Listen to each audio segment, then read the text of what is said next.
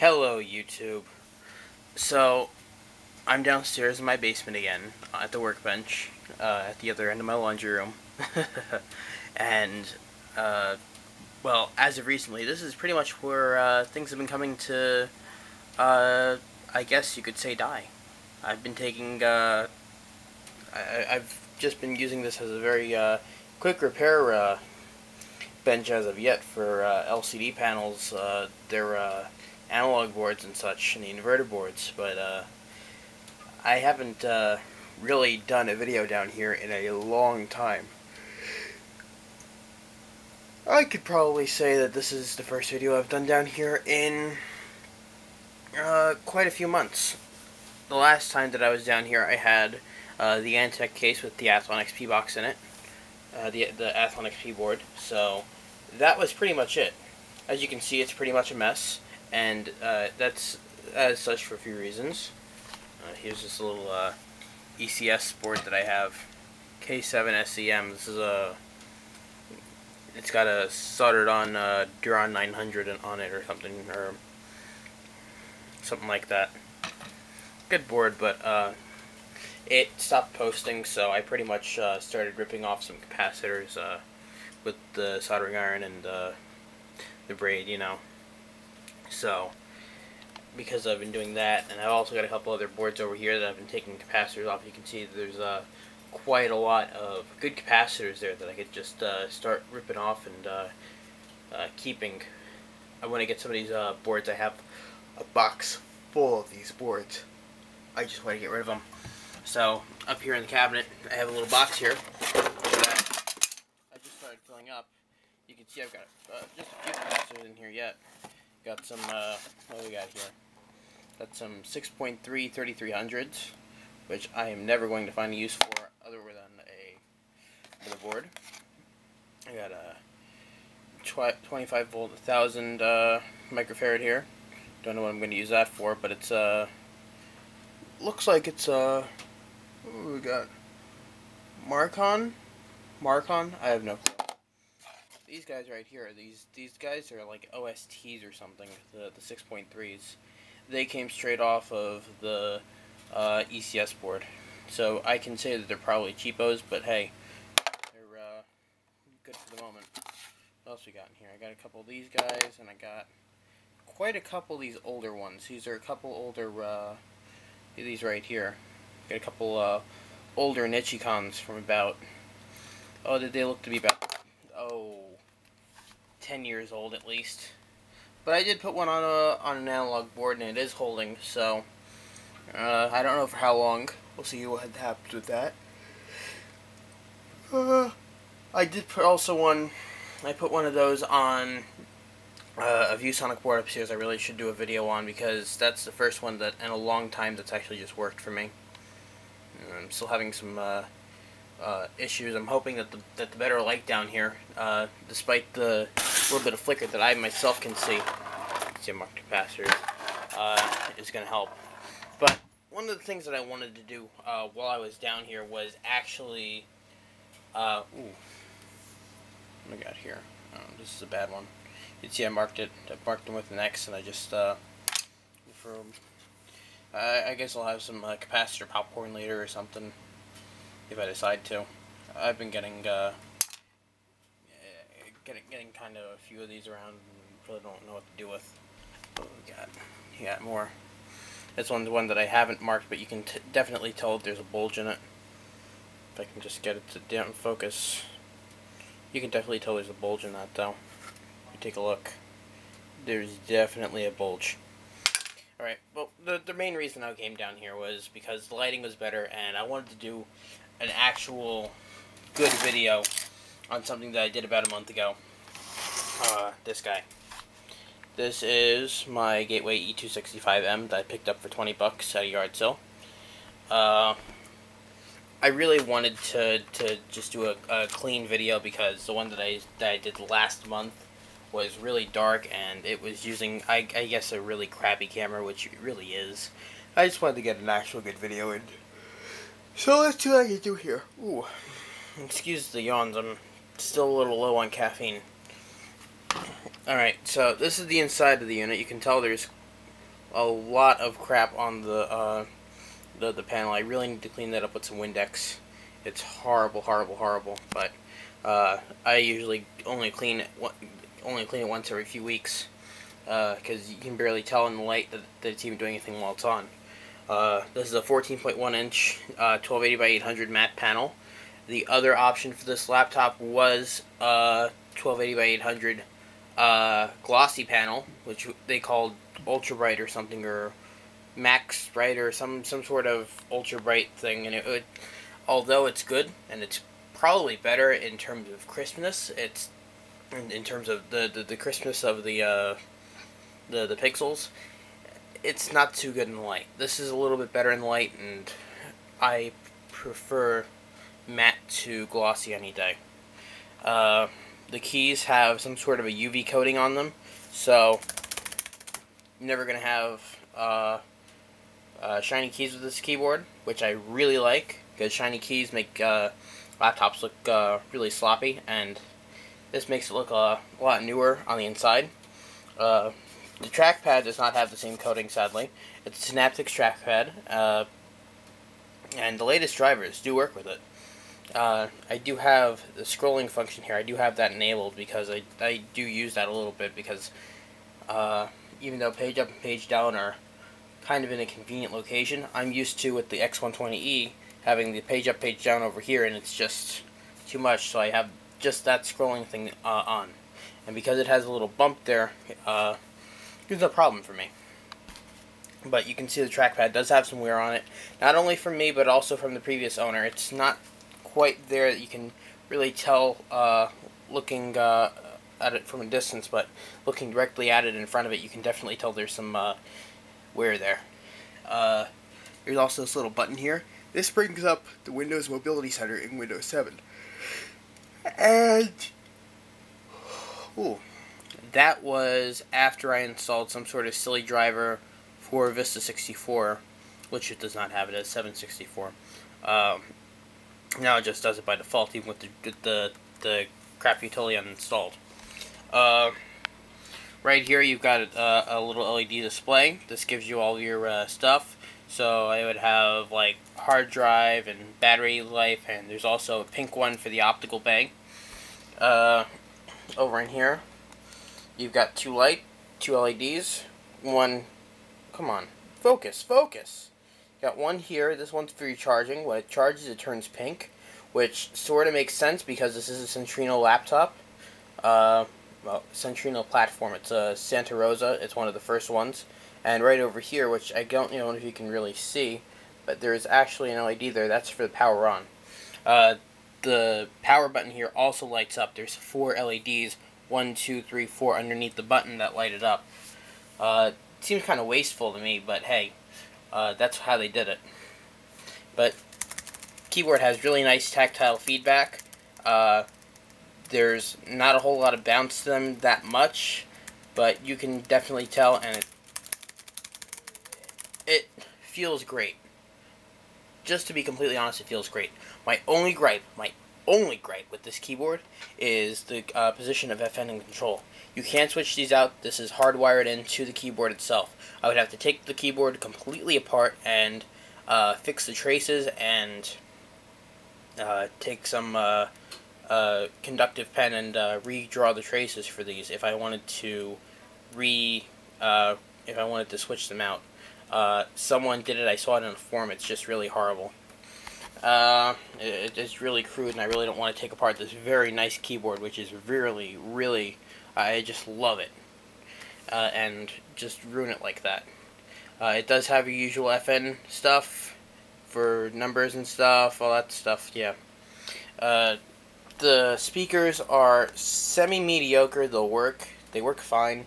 They're not tinny, but uh, they are uh, subpar. So, let's leave it at that. Uh, again, top of the unit, there's a gateway thing, it has a few scratches and uh, and stuff from uh, normal wear, wear and tear. Uh, you got some uh, vents here. This one is for, uh, I guess this is over the memory. That's over the memory. This one's over the fan. Uh, on the left and right side around the fan here, I do have a couple of pieces of foam or something to keep it down. It sort of helps with the uh, the pressure of the thing. And over here, underneath here is the hard drive. Uh, the hard drive I did replace. It's a one terabyte uh, Samsung SpinPoint M8. Uh, I guess it would be more appropriate to call it a Samsung Gate or or uh, applicable, I guess because uh, Seagate is one manufacturing them now, not Samsung. However, they are still using the Samsung technology. There is a new hard drive that uh, Seagate released that's using the Samsung technology as well. It looks the exact same outside. It just has a Seagate logo on it and it has Seagate box and stuff. Over here, you can see the uh, online support and stuff. There's my LAN, Mac, and all that crap. There you go. Have some fun with that, okay? Uh, up here is the uh, thing, and I did write my name on it because of usual crap, and I do take this to, with me to work and stuff.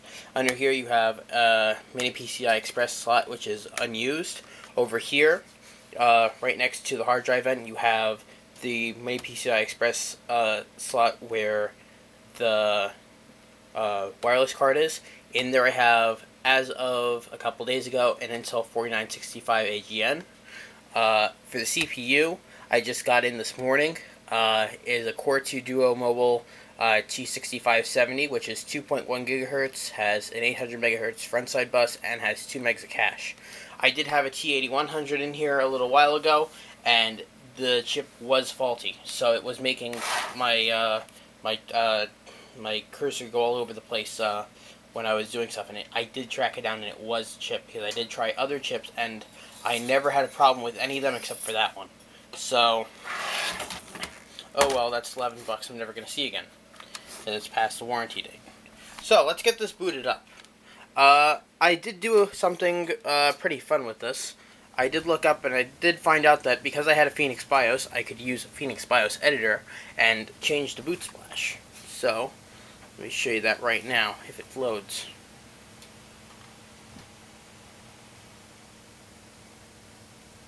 There we go. Look at that. That's just great, isn't it? I did that all by myself. Ha ha. I'm feeling so proud of myself. no. I'm just resuming Windows because I did put it to sleep. So, you go over here and type in my password, like the idiot that I am, and boom, there's my desktop and Blackrock Shooter wallpaper, hooray. Just because. Okay. I can't, uh, no, I can't, uh, confirm or deny that I paid for this, uh, copy of Windows because, uh, pirating is bad, ha ha ha. So, but yeah, you can see there, I have T6570, 2.1 gigahertz, uh, 4 gigs of RAM. Uh, I have Windows 7 uh, Service Pack 1 64-bit installed on here. Uh, all that stuff. Ooh, online support. I wonder what online support brings me to.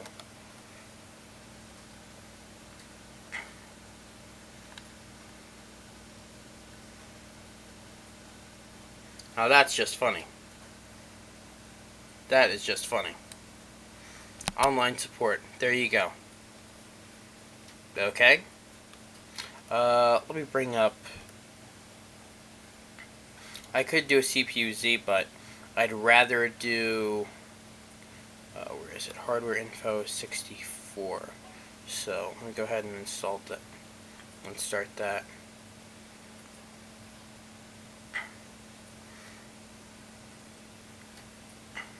I don't care about updates right now. Here you go. It decides to focus. There we go. You can see some information about my lap, my uh, CPU here. SLGLL is the uh, is the actual model of it. You can see all the stuff it has. SSSE 3, SSE 3, SSE 2, SSE, SSE 4.1, which is the big thing that I wanted. It has virtualization and uh, thermal monitors and crap. That's really what I wanted. CPU status. Yeah, I'm at 1200. It's uh, throttling all over the place right now. Uh, and here's the Intel graphics. It's sort of alright. It, it works. I have no problems with it.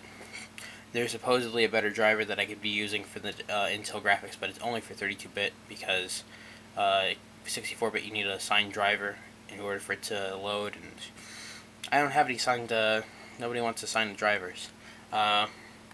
The battery is five years old. It has 36% wear on it, which I find amazing that it's lasted that long. There is a battery recalibration uh, thing in the BIOS that I can use. I haven't really decided if I wanted to use it yet, but it's supposed to be better for it. I don't know. Uh, regardless, take a look at the drives here. I do have a DVD drive in here that I put in myself. Uh, I just switched the plate out and now it's a DVD burner. I have no drives there. I have nothing there. Here we go. It just calls itself a gateway. It's really an E265M motherboard. Uh, it's also uh, shared with the E475M. So, there you go. It's got an ICH8. And for sound, it does have a connection. Uh, uh, it has like, I don't know, it's not connecting. It's uh, uh, Sigmatel. Sigmatel HD audio codec. And because I can't find a Windows 7 driver for it and have to use uh, the Vista driver, it's just complete shit. So, I don't really uh, need to worry about that that much.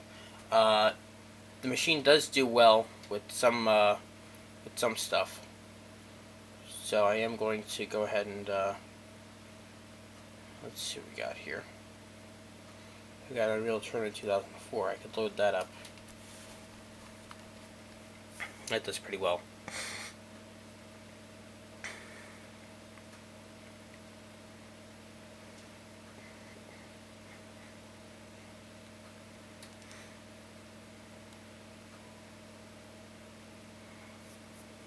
Yeah, right back at you.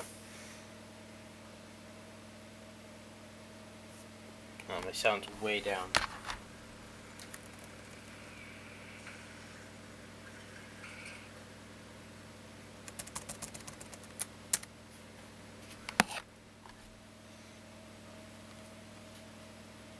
The settings are way down on this for whatever reason on audio.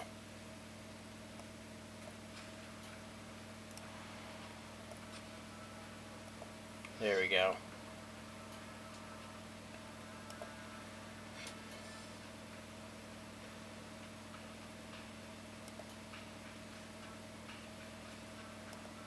Let's try this. Deathmatch.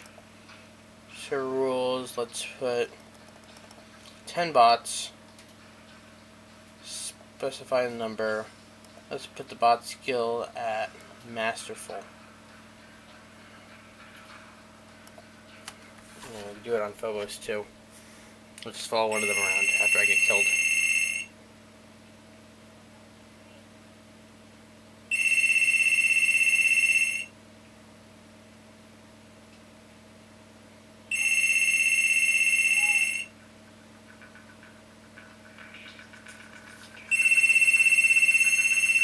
Phone's ringing.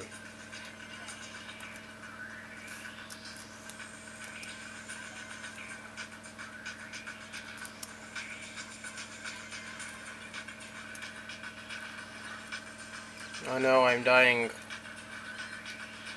Oh no. Yay, I died. Yeah, how do I follow somebody else around?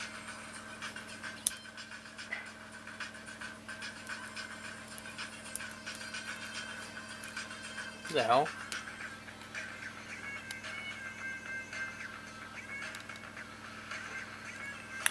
That's one fat guy, or I don't even know.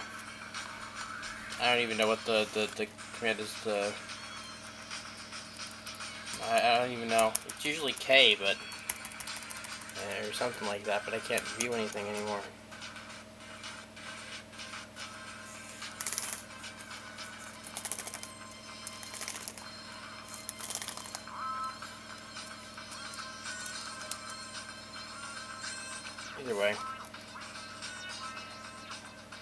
Does it alright. This is on 1280 by 800 at like almost full settings. So, everything seems to be running okay, sorta. Yay, I got killed again.